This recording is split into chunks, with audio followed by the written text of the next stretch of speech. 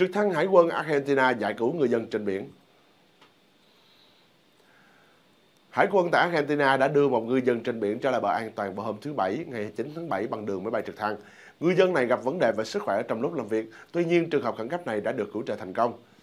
Theo thông tin từ các nhà chức trách cho biết, người đàn ông đã được giải cứu khoảng tầm 47 tuổi. Trong khi đang thực hiện việc của mình trên một chiếc thuyền đánh cá, các triệu chứng của bệnh nhồi máu cơ tim cấp tính tái phát khiến ông ta rơi vào tình trạng nguy hiểm. Video quay lại được hướng nhìn trên cao cho thấy lực lượng cứu hộ đã đưa được ngư dân này lên trên máy bay bằng cách sử dụng một sợi dây dài và một chiếc giỏ đặc biệt chuyên dụng.